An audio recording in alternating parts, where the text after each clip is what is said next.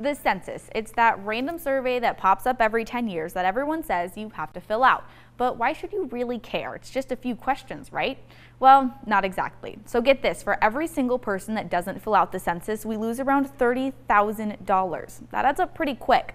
And depending on how we do as a city and as a state, we could get more or less money from the federal government, more or less people representing us over in DC, and it could actually change how Spokane is physically changing.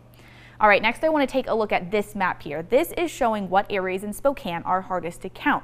The darker the red, the less representation that area has. So look at all of this red all over our county here. It's just not a small part of our county. So there's actually a census committee here in Spokane that's working to make sure everyone gets counted this year. One way they're doing that is the Trusted Messenger program. Take a look. So this is uh, your guide to the 2020 census. This is the first program, outreach program in place for people of color specifically. Historically, people of color have been extremely undercounted. Rohini Vias and other volunteers are just reaching out to their friends and family to teach them about the census. Like, I already have something established with you, and so you're more likely to want to listen to me. The goal is to have people all over start talking about it more just in general. Another way they're trying to get everyone to fill out the census is through this app. It's called Solace, and it's made to help people in the LGBT community.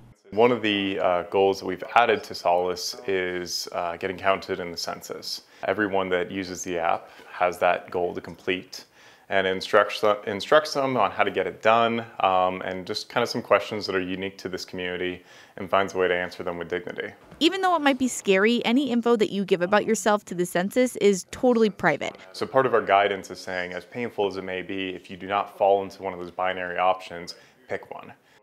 So, moral of the story fill out your census this year. It's only a few questions, and you can do it online, by mail, or you can call in and do it over the phone.